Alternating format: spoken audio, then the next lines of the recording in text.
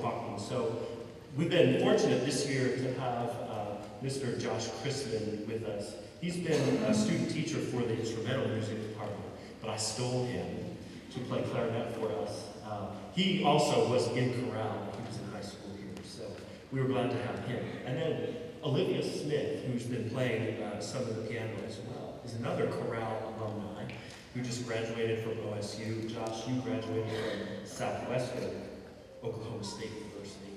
And um, so they've been, both been doing music and are going to go on and do wonderful things. We're glad to have them here. And of course, Mr. Tim Williams is with us from Woodlands. He's a principal now, but used to be a music teacher. So we stole him too.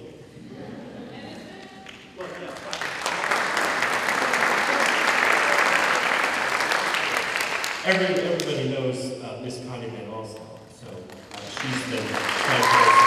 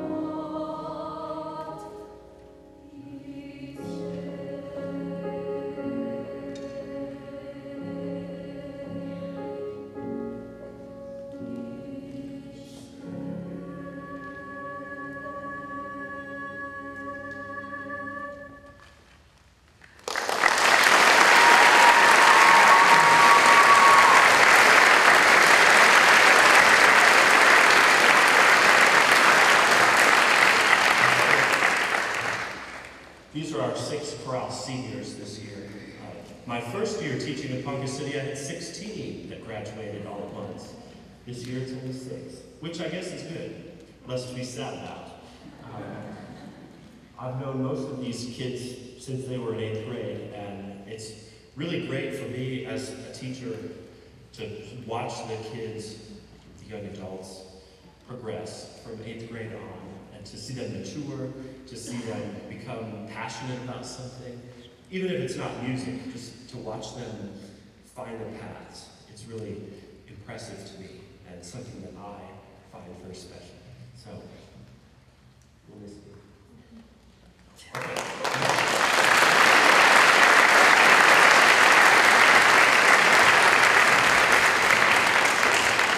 Uh, Something now that has become a chorale tradition is the passing on of their red blazers. And so this, um, the seniors will give their red blazers to an underclassman, and the underclassmen will then give the seniors their graduation cord that they get to wear at graduation. It's pink and black. Uh, so that has become a tradition that we do now. Last year we did it at our banquet. Uh, this year we finally get to do that at our spring concert. So once that's done, they'll all come back on stage. Bella Voce can come back up. We have one more, one more song for you this evening. And well, Bella Voce still come up here. Don't let me forget. Now I think it's your turn. Oh, yeah. Well, is it, are you, you can see we really rehearsed this.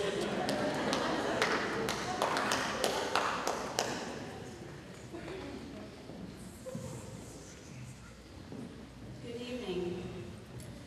I was in this group a very long time ago. We won't even talk about that. In 2019, when this building was brand new,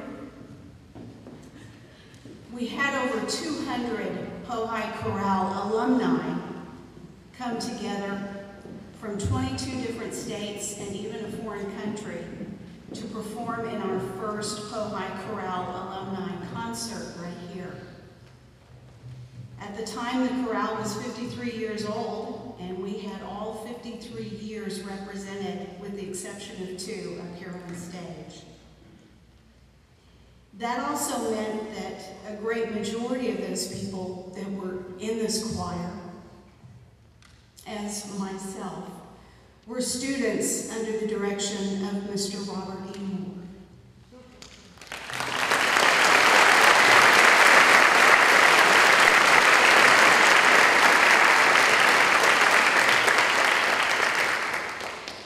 Mr. Moore created the chorale when he came here to teach in 1966.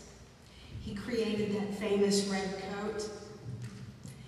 He created the reputation of the chorale as being a group who seeks and achieves excellence.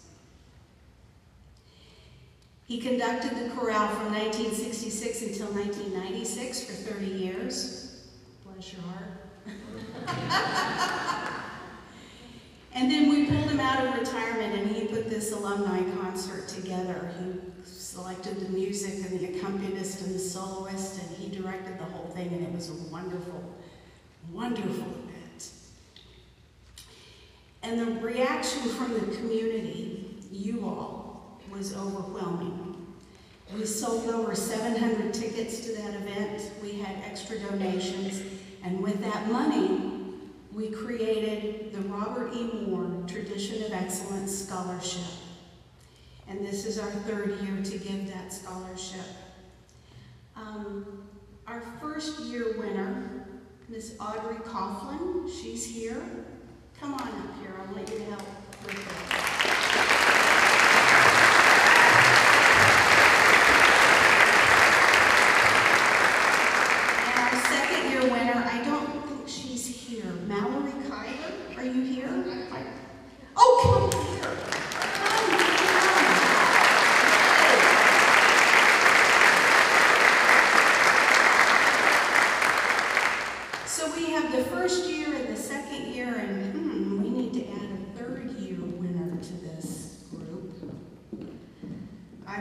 to announce the 2022 recipient of the Robert E. Moore Tradition of Excellence Award, a $1,500 scholarship that we give to a Chorale graduating senior each year.